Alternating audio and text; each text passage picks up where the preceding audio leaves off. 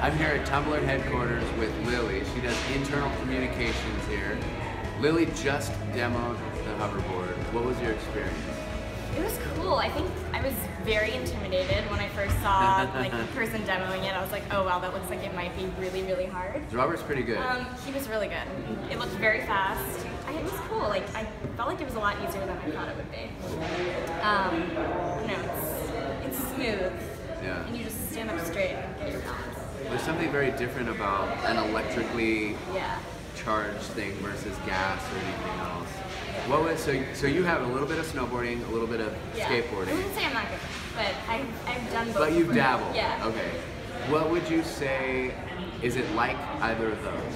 It was like surfing on So land. wait, wait, wait. You didn't say that you're Snowboarding on surfing. Okay. Do you I also, surf too? also have done like a tiny bit of surfing. So I guess I've All done. right, all right, I've fair. done skateboarding. So surfing on land. Surfing and snowboarding. Yeah. Because surfing that. on land. Did anybody pay you to say that? Nobody paid me to say that. all right, I just want to get that because that's what they say.